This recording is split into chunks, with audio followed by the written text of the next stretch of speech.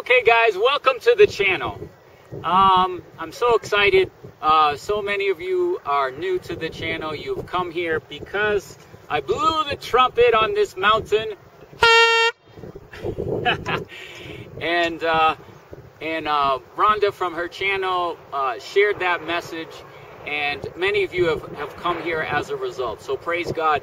We're blowing the trumpet in Zion. Hallelujah. We are shouting his praises. Glory to his name. We are assembling the camps for war.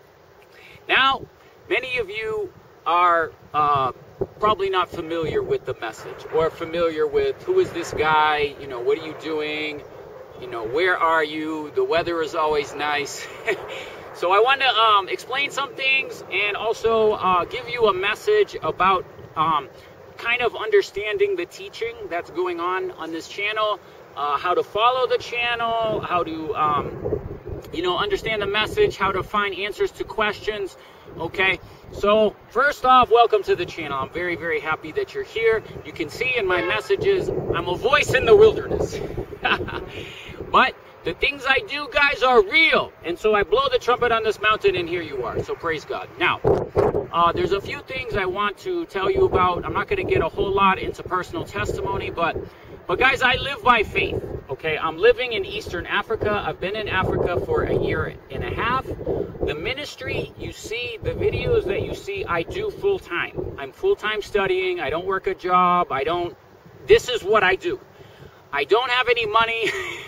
I live by faith, and God is faithful. Okay, now I've been doing this for several years. Um, just like Jesus said, sell all you have, give to the poor, take up your cross and follow me. Now, I've been doing that traveling full time for two and a half years, okay? And then almost two full years, no money. I used to have a house, I sold my house, I sold my car, I got rid of all my stuff, and now I'm traveling.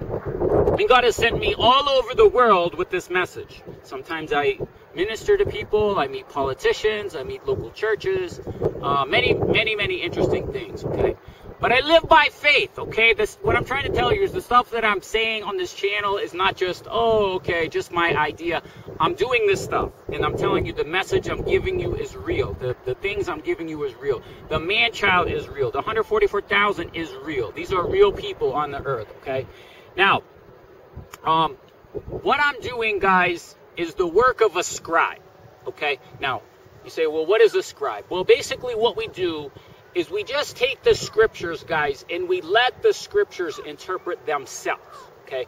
As a scribe, what you do is you don't want to have, you know, personal opinions. It says, no prophecy is of private interpretation. It says this in Peter. Now, what that means is when you read the book of Revelation, all right, when you're reading it, don't assume you understand what it means by just reading one verse.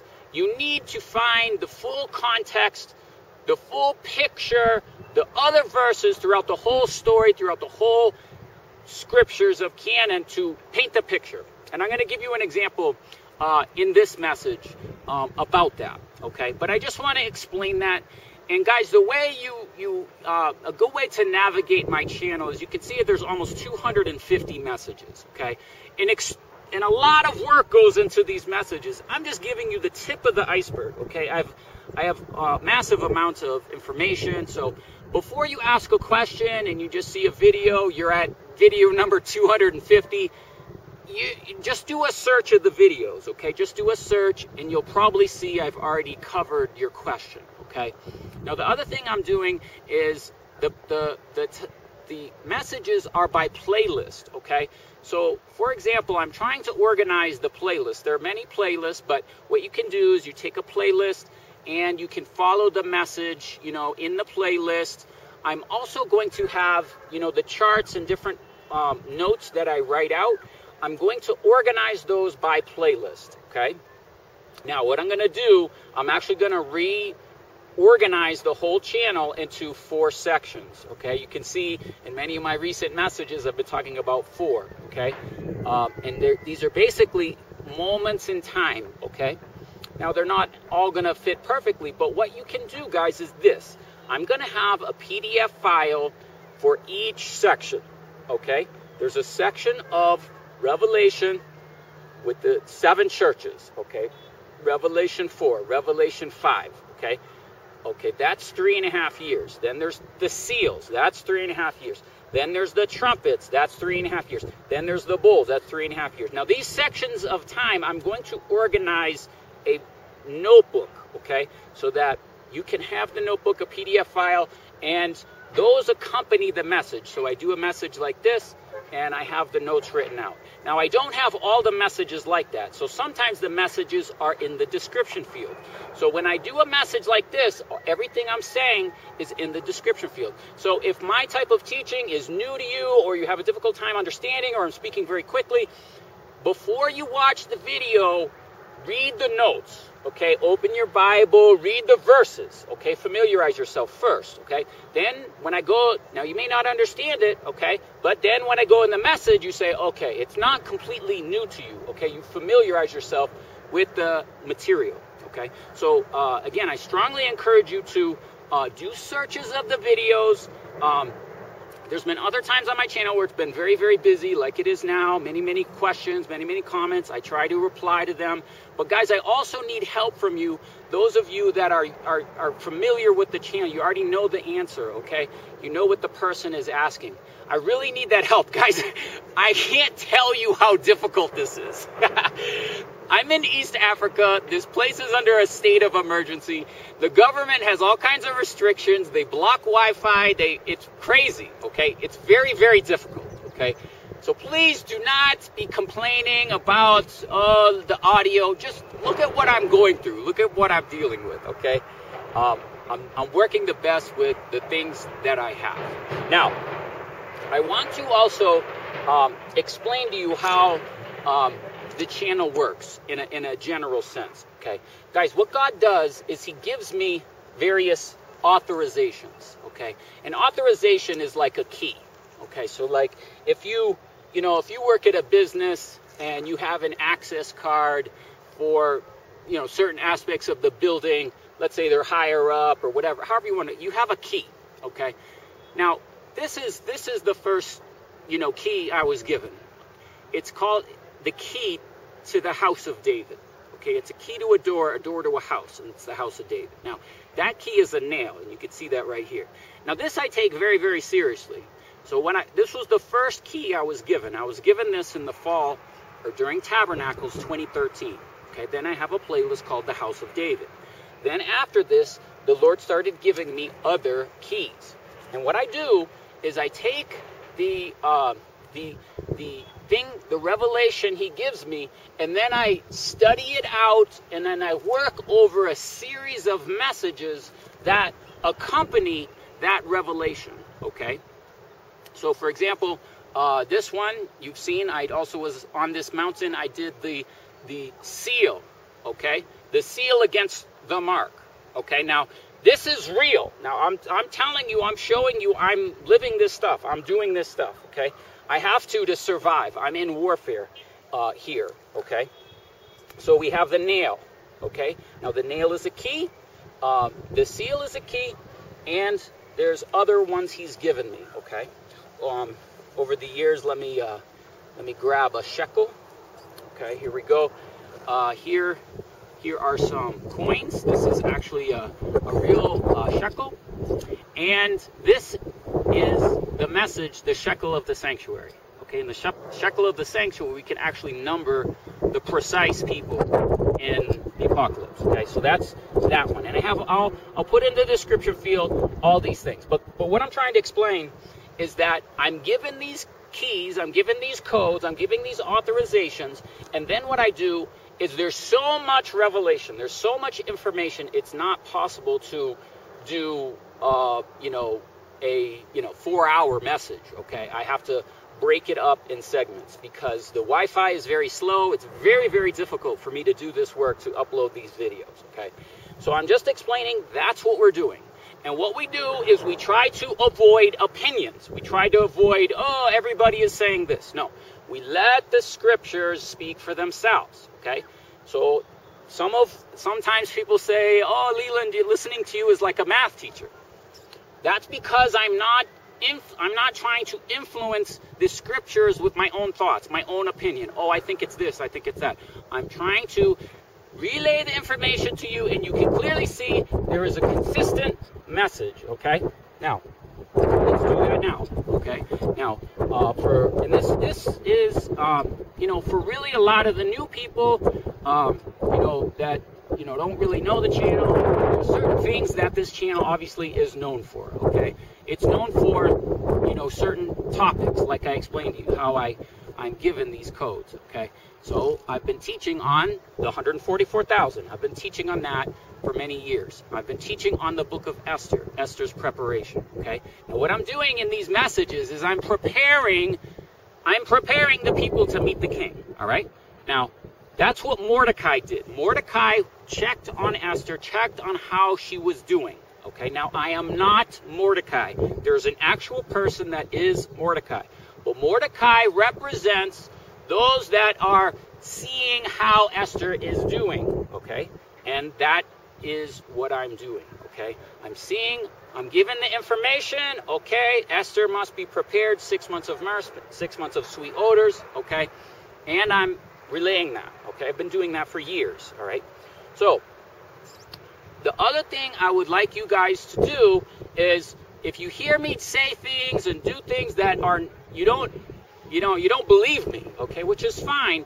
What i encourage you to do is do a fleece you know um, uh, gideon the story of gideon. He the messenger came the messenger god came and he was like uh, how do i know this is true? So do a fleece do say say god uh, show me if this is true you know uh, confirm your word with signs following okay? Ask him and he'll do it all right um, the other thing i want to say is those of you that get the message, you begin seeking God, and you begin pressing into the kingdom of heaven, you will suffer persecution. That's just how it works. Um, I've been suffering persecution and under pressure and under judgment for over almost seven years since I've been doing this, okay? That's just the way it is. Don't be upset. You know, just give God thanks in all things, okay? Whether you understand it or not, repent, give God thanks, and get the victory. Now, the example we're going to use in this video is Song of Solomon. You'll see throughout all the messages, if you go through the playlist, you go through Esther's preparation, you go through Song of Solomon, you go through the book of Revelation, you'll see I'm teaching on these things over and over and over. So let's go over an example. Okay, so there are sections of scripture in Song of Solomon, in Esther, and in Revelation that line up perfectly. Okay? But what we have to do, like I said, is each one gives us a piece. Each piece comes together to form the picture of the puzzle. All right? So let's slowly go through Song of Solomon chapter 4. In Song of Solomon chapter 4, in verse 12, it says, A garden enclosed is my sister, my spouse, a spring shut up, a fountain sealed. Okay? Uh, so let's get, uh, I'm going to get everything out. So we'll uh, do a little uh, show and sell. So we have a fountain sealed, right? Okay. Now, in Revelation 7 1, it says, uh, the angel sealed the servants of God, right, on their foreheads. Now, we know that the uh, servants of God that it's talking about there are virgins, because you see that in Revelation 14 4. Okay? So let's keep that in mind. Virgins seal. Okay? Uh, Song of Solomon, chapter 4, verse 13. The next verse says, Your plants are an orchard of pomegranates and pleasant, pleasant fruits and camphire, and spikenard, spikenard and saffron, calamus, cinnamon, with all the trees of frankincense and myrrh and aloes with all the chief spices. Now, you can see I'm holding up anointing oil. Okay? Now, this is the oil. So, what it's talking about here in Song of Solomon, it's talking about Esther's preparation. Esther's preparation has six months of myrrh, six months of sweet odors. Okay, so let's just say, okay, we have six months of myrrh and six months of sweet odors. So the, the uh, fragrances that are mentioned in Song of Solomon, these are the same fragrances that go into the anointing oil and the same fragrances that Esther was prepared by. Okay? Okay, so there we have clearly the seal, we have clearly the anointing oil, um, and in Esther chapter 12, I mean, excuse me, Esther chapter 2, verse 12, the virgins, okay, had 12 months, according to the manner of women, so were they purified to accomplish six months of um, myrrh and six months of sweet odor. So we have six months of myrrh and six months of sweet odors. Okay, so clearly in Song of Solomon and Esther, chapter 2, they are talking about this preparation. Okay, now this is also what we see with the wise virgins. Remember the wise virgins? Okay, the wise virgins had oil. What does that mean? The oil means they had gone through Esther's preparation. Six months of myrrh, six months of sweet odors. Now, the thing about the oil, the oil is intimacy with the Lord.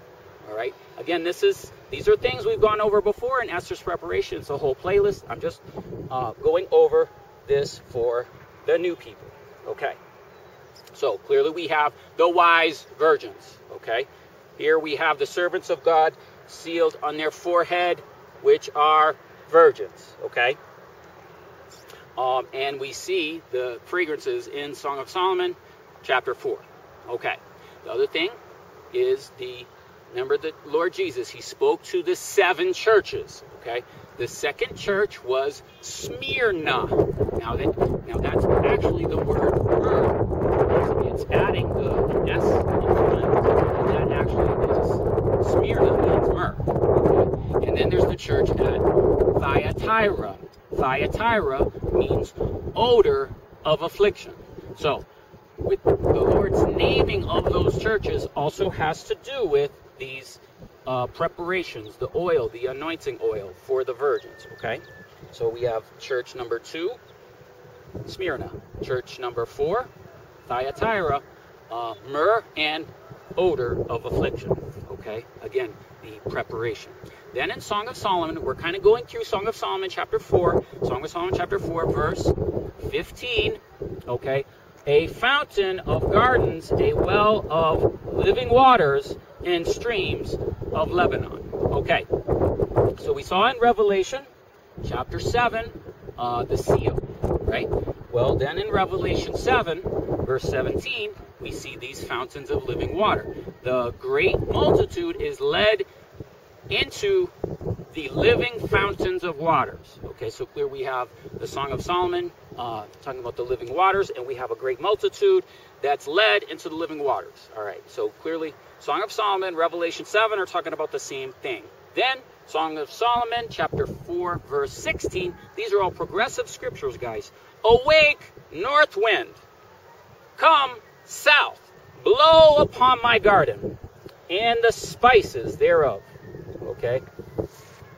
Uh, that the spices thereof may flow out, and let my beloved come into his garden and eat his pleasant fruits. Okay, now, again, we're in Song of Solomon, chapter 4, and Revelation, chapter 7.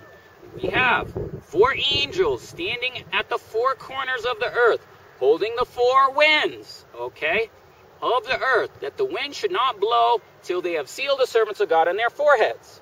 Okay, so in Song of Solomon, we have the north wind. Okay, we have the south wind. So two of those winds are mentioned in Song of Solomon, which perfectly lines up with Revelation chapter 7.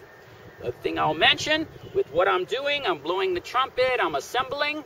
Okay, in Ezekiel 37, it says, Ezekiel uh, prophesies to the wind and lets the, the dry bones and that when did they come? When is an exceeding great army? The exceeding great army comes from the four winds. Okay? That's what's happening right now. The army is rising up. It's a time of warfare. Okay? So, we have these four winds. We have two of the four winds mentioned in Song of Solomon. North wind, south wind. Okay? Okay, now, what happens is Song of Solomon, we that was the last verse of Song of Solomon chapter 4. Song of Solomon chapter 5 verse 1. I am come into my garden, my sister, my spouse. I have gathered my myrrh and my spice. Okay, we I think we are calling this one myrrh. I don't know what it is. What does it say? It says hyssop. Okay. So uh I have uh I've gathered my myrrh and my spice, and this is the, again, preparation. Esther's preparation. So clearly, Esther's preparation is this chapter 2, Song of Solomon, and the church of Syria and uh, Thyatira. Okay. Now, let's take a look as well seven churches. Now, you guys know these verses, but what you want to do is we want to look at these verses in light of what um, we're seeing in Song of Solomon and Esther, right? Okay. When we look at, actually, let me let me finish Song of Solomon, chapter five. So I'm coming to my garden, my sister, my spouse. I have gathered my myrrh and my spice. I've eaten my honeycomb with my honey. I have drunk my wine with my milk. Eat, O friends, drink abundantly. What is this? This is Esther's feast. Esther's feast is mentioned in Esther chapter 2. Then it says, I slept, but my heart wakes. It is the voice of my beloved that knocks. Okay. Now, this knocking on the door, the Lord comes in Song of Solomon chapter 5, knocking on the door. This is exactly what we see in Revelation chapter 3, verse 20. Behold, I stand at the door and knock. If any man hear my voice, voice of what? The trumpet. Okay. Hear my voice and open the door. I will come in and sup with him. I will come into him, it says. Okay. Now, when it says come into him, guys, this is intimacy with the Lord. What it, this is an invitation. And what happens is when the virgins completed their preparation and they had their uh, 12 months of, of oil of myrrh, they had a night of intimacy with the king. We see that in, Song, in Esther chapter 2. Okay, so that's what it's referring to. Um, I will come into him. The king, you have intimacy with the king. Okay, because every every virgin had a night with the king. Okay, um, and every maid's turn was to come into the king. That's what it says in Esther. And I will sup with him. What is sup? That is Esther's feast with him and he with me. Okay? Then it says, again in Esther 2, verse 18, the king made a great feast unto all the princes and his servants, even Esther's feast. He made a release to the provinces and gave uh, gifts, overcoming gifts, uh, according to the state of the king. Okay. Then in, then in um, Revelation 3, 21, the next verse after the Lord is knocking on the door, it's, he says, To he that overcomes, I'll grant to sit with me in my throne, even as I overcame and am set down with my Father in his throne. So Lord Jesus Christ is sitting in the Father's throne. Then we see this, Esther chapter 2, verse 19. And when the virgins were gathered together the second time, then Mordecai sat at the king's gate. Okay? So now what you have is Mordecai is a type of the man child. Okay? And what the at this point in Esther, this is when the man child sits at the king's gate, uh, king's gate, excuse me. Okay, and that's the door that is opened in Revelation 4, verse 1. And after this I looked, and behold, a door. What door? The king's gate. All right, was opened in heaven, and the first voice which I heard were as it were a trumpet talked with me and said, Come up hither, I will show you that which must be hereafter. And immediately I was in the Spirit, and behold, a throne, and one, and sat upon the, uh, there was a throne set in heaven, and sat upon the throne. Okay, so this is uh, what John sees is the promise to the church at Laodicea, the Lord Jesus Christ, his throne. Okay, now, this Mordecai is also a type of John the Baptist. All right, John the Baptist in John uh, John 3 verse 29. He that has the bride is the bridegroom, but the friend of the bridegroom uh, stands and hears him and rejoices greatly because of the bridegroom's voice. This is my joy herein is fulfilled. So let me just say that again. Uh, he that has the bride is the bridegroom. So the bridegroom is the virgins, all right? They have prepared themselves, okay? They have the oil, all right?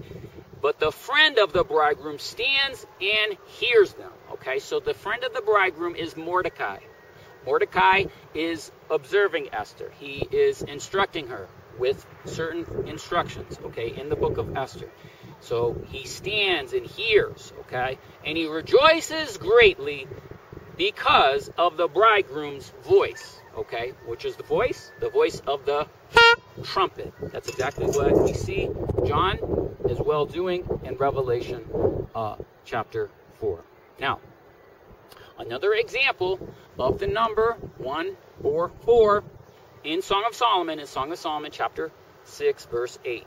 There were 60 queens and 80 concubines and virgins. Now the word virgins here in the Hebrew is alma, okay?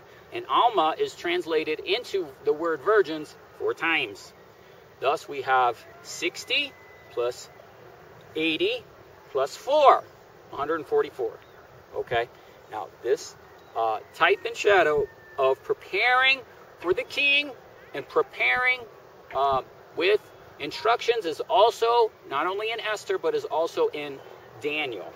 Okay, in Daniel chapter 1, Daniel and the Hebrew boys, they prepared uh, in uh, Babylon. Okay, and they, they also had various instructions. So they got a new name, right? Uh, and they also took a stand. They took a stand against food. and guys, that's one thing that's so amazing. As difficult as this place is, I am so healthy. I'm as healthy as I was in high school because the food has no genetically modified stuff or anything like that. I eat, uh, it's so good. I'm so healthy. I, it's amazing. Okay. So God has put me here to give me various disciplines, and one of those is food.